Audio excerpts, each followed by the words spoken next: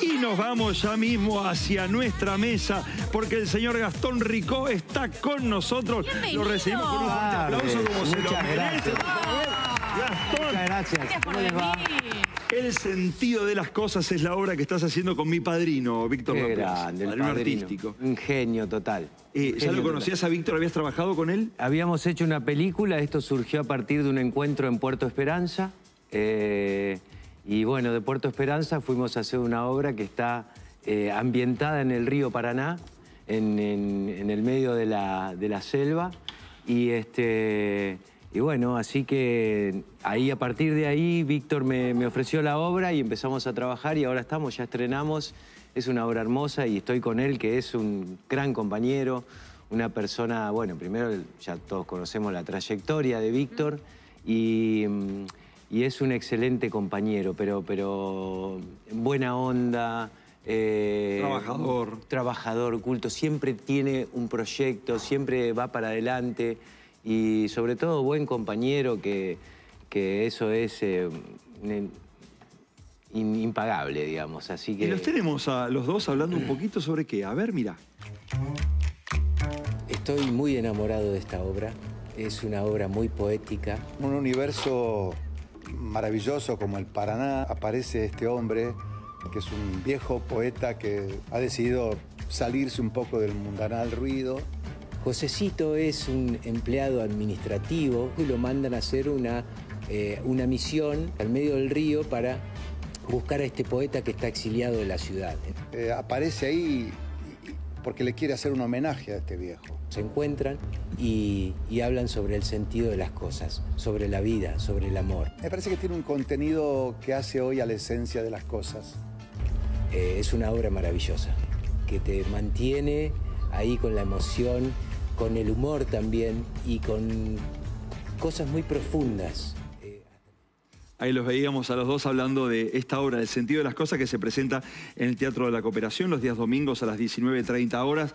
Hermoso teatro, por otro lado, y en la calle Corrientes. Eh, teatro hecho a nuevo, que está espectacular. ¿En qué sala están ustedes? Estamos en la principal, es- sí, sí, es una sala hermosa, eh, con un equipamiento bárbaro y, e- y el escenario está abajo, o sea, el público está arriba, como si fuera un anfiteatro. Sí, qué lindo. Así que ¿Y por qué en una isla en el Paraná? ¿Por qué crees que ese es el lugar donde estos hombres se encuentran? Bueno, se encuentran ahí primero porque la autora es de Santa Fe y esto Ah, es un homenaje a todos los eh, dramaturgos santafesinos, los poetas santafesinos. Eh, Sandra. Franzen, sí, hay muchos. Este, y Sandra Franzen, bueno, fue discípula de algunos de ellos y, escribió esta obra en pandemia, en un momento muy especial de su vida. Eh, por supuesto, Sandra, eh, eh, bueno, digo, escribió sobre el mundo masculino siendo una mujer de una forma increíble, hermosa, y bueno, imaginó esta obra eh, un poco basado en algo real que ocurrió de un, de un poeta que se exilió de la, de la ciudad, este, se renegó de la sociedad y se fue a vivir al río. eh, y bueno, y entonces eh, la obra trata sobre, la municipalidad trata de hacerle un homenaje y de traerlo a la ciudad otra vez, al, poeta, y, y por supuesto que, que se resiste mm, con, con muchos justificativos y, y muchas reacciones eh, a, este, a este muchacho que, que lo mandan, a este lo mandan y es un Claro. poeta, es un poeta, este, quiere ser poeta también, entonces lo ha leído a él y, y tiene de alguna forma una admiración por este viejo que está ahí. Y bueno, y justo cuando lo deja la lancha de prefectura viene la crecida del río. Y la obra es una metáfora todo el tiempo de todo lo que se lleva al río, de todo lo que pasa con la vida. Eh, y, y bueno, nada, es muy interesante la apuesta, o sea que tenemos crecida de río, pasan por el río eh, roperos, autos, cosas, estamos arriba de un sauce. Qué interesante. Todo eso pasa en la obra. Mirá, mirá ¿Eh? si pasan y cosas. hablamos de cosas muy profundas y además tiene mucho humor también. Porque este pibe que lo mandan ahí, que llega a la crecida, encima es alérgico, es miedoso y está toda la, la fauna litoraleña que tenemos. O sea que Insectos, bichos definitivamente va a ser una experiencia transformadora, ¿no? Sí, totalmente. Para este muchacho, sobre todo, sí, claro que sí.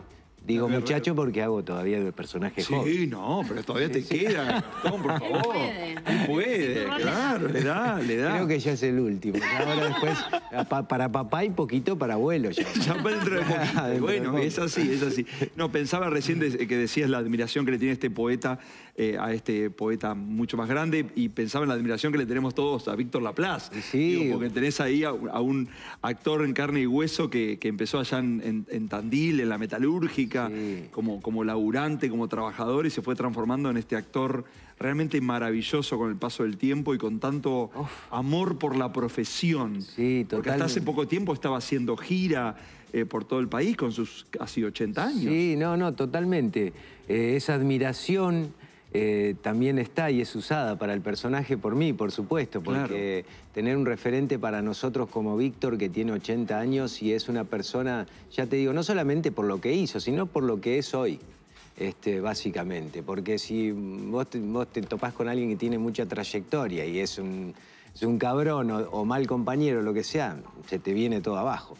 Yo Y creo con Víctor es pasa lo contrario. eh, cuando son personas que quizás tienen más años que vos y vos decís, ah, podría estar cansado ya harto de todo. Y cuando ves entusiasmo, como esa frescura del que hace lo que le gusta. Sí, totalmente, y, y te contagia, ¿viste? Decís, ¿cómo yo puedo estar un poco cansado y él que viene y, y se pone a hacer yoga y hacemos yoga juntos y este...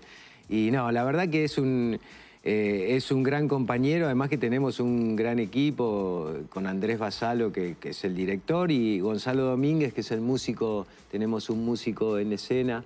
eh, con varios instrumentos, que eso, eso le cree- crea un Sí, mira, veníamos de hablar de otra obra recién que tenía músicos en escena. Sí, lo vi, lo vi. Y hablábamos de eso, ¿no? De la importancia, cuando, cómo gana el espectáculo a una pista grabada, tener un músico ahí, ¿no? ¿Qué te Y verlo, verlo Sí, ejecutar su sí, instrumento. sí, es hermoso. compartir. Es hermoso, es hermoso. Así que estamos muy felices, un gran equipo, con Ale García en la producción, así que nada, estamos ahí, en esa sala hermosa, y por supuesto que vamos a querer girar, ahí estamos con el director, mira, vamos a querer girar por, por, eh, por el país, porque es una obra muy, muy nuestra, y que eso nos queda bien, ¿viste? Es Seguramente vas a hacer una parada en Tandil, vos sos de la barría. No, y, pero ¿cómo no vamos a hacer de si Hacemos Tandil Azul a la barría hay que hacer, Ya ¿eh? tenemos Tandil Azul a la barría y vamos a agregar Tapalqué también. Bien. Así que toda esa zona del centro de la provincia y por supuesto a Tandil tenemos que ir. Por favor, si Víctor está somos, escuchando. somos gauchos de allá, ¿viste? Sí, Entonces bueno, tenemos lo de que- la barría, bueno, está bien, está bien. Bueno.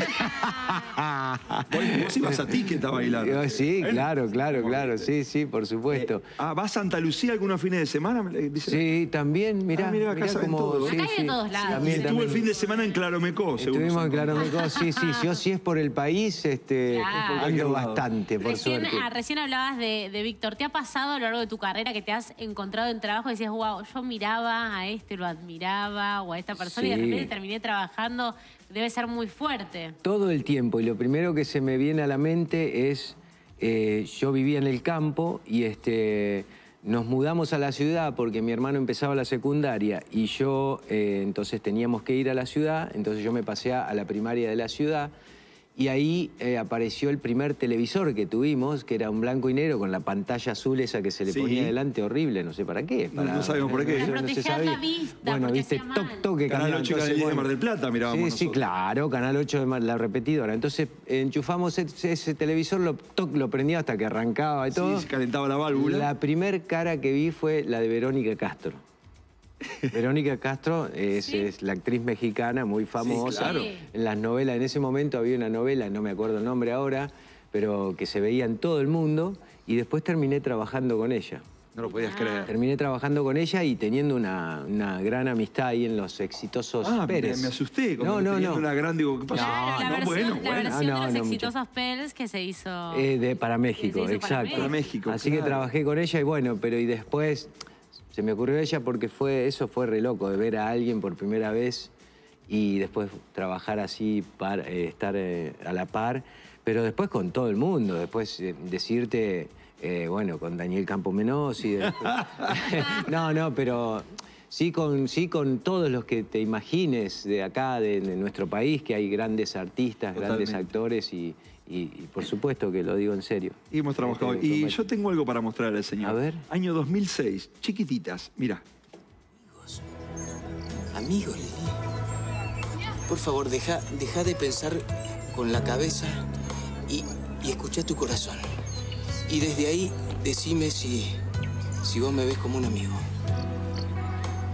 Lili, hermosa, mírame a los ojos y jurame no sentí nada por mí, jurámelo.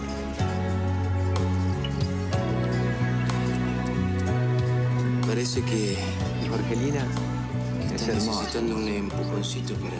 No la vi todavía. Ahí estamos Largo, viendo, chico, ahí estamos viendo chiquititas, año 2006, un joven, los dos jóvenes, ¿eh? Jorgelina también un beso muy apasionado, Sí, los bosques de bueno, Palermo. sí, es bueno, eso. había que... Sí, No, no, pero había que controlarse porque... ¿Por qué? No, no, porque era para chicos. Claro. Bueno, pero pero, fue demasiado éxito- apasionado, veo. Un éxito tremendo que, que se volvió a resignificar en, en- en pandemia. Sí, creo, no, no, muchos chicos y chicas mirándolo nuevamente. Imposible de pensar hoy y la verdad que son esos proyectos en los cuales eh, a lo largo del año siguen, siguen este, volviendo, eh, escribiéndote gente que, ay, yo era, eh, yo miraba y es una, una señora que por ahí ya, Claro. una chica, digamos que por ahí ya es madre y lo veía.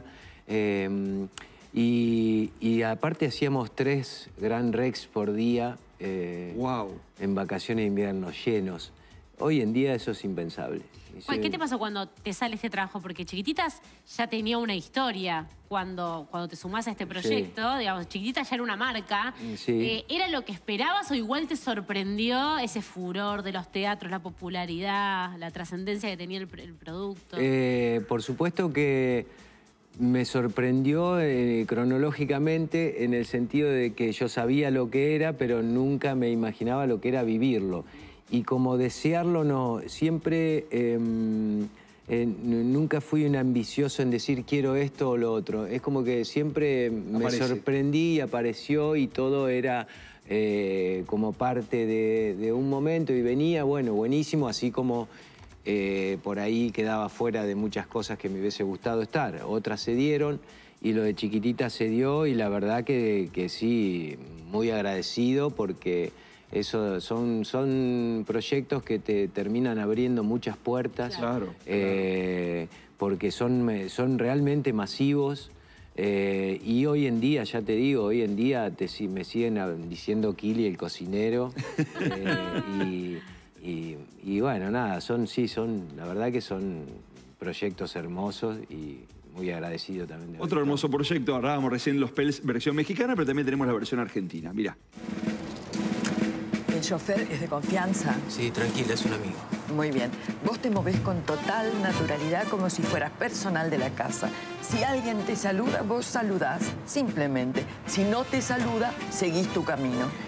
Recordá que es nuestra oportunidad para saber lo que necesitamos saber y nada tiene que salir mal, Juan. Nada va a salir mal. Bien. Pero seguro que yo no corro peligro de nada, ¿no? Siempre hay peligro. Estar vivo es peligroso. Bueno, Pero hablábamos ¿dónde de, figuras con quienes compartir. Mirta Sí, Mirta, gran Mirta, ¿qué compañera te parece? también, hermosa. ¿Qué te parece? Una actriz eh, talentosísima. eh, fue una La serie que locura. también eh, le fue muy bien. Sí, sí, sí.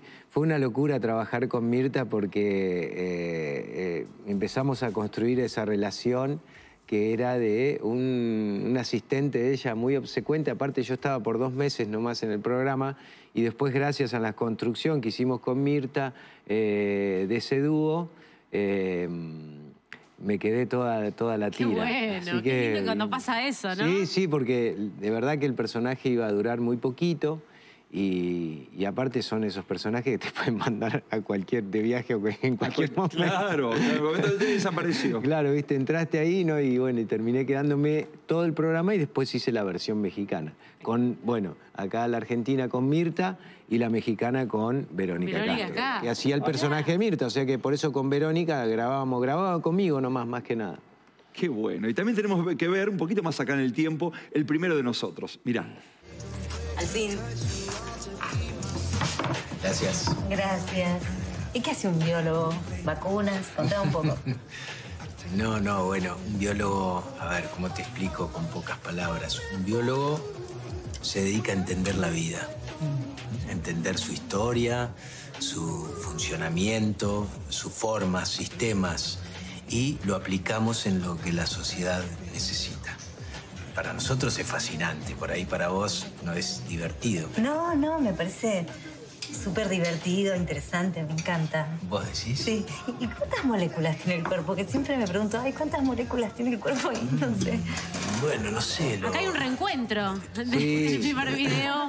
Me encanta, me encanta trabajar con Jorgelina, para mí es, es la actriz de comedia de acá.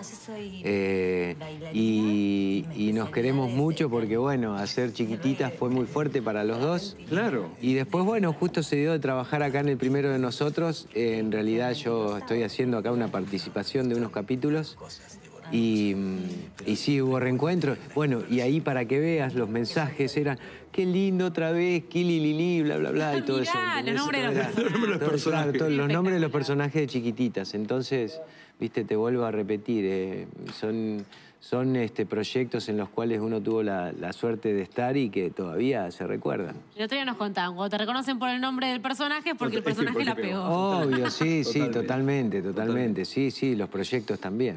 Recordemos entonces día y horario para ver el sentido de las cosas. Sí, cómo no. Estamos eh, los domingos 19.30 en el Centro Cultural de la Cooperación. Eh, es una obra hermosa de Sandra Franzen. Estamos con Víctor Laplace y quien les habla, Gastón Ricó, con dirección de Andrés Basalo. Así que los domingos 19.30 es un lindo día para disfrutar del teatro y terminar la semana. Los esperamos.